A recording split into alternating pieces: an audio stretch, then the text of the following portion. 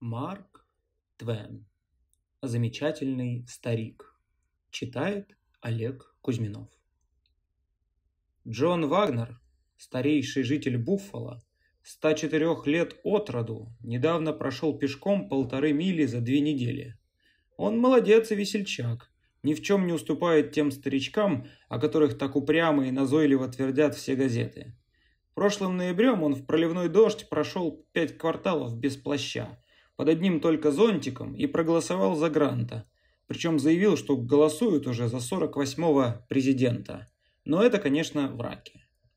Копна густых каштановых волос второго укоса прибыла для него вчера из Нью-Йорка, а новенькие зубы находятся в пути из Филадельфии. Через неделю он женится на девице 102 лет, которая все еще берет на дом стирку. Они 80 лет как помолвлены, но их родители упорно противились и дали согласие только три дня тому назад. Джон Вагнер на два года старше ветерана Рот-Айленда и отродясь не брал в рот ни капли спиртного, если, если только не считать виски.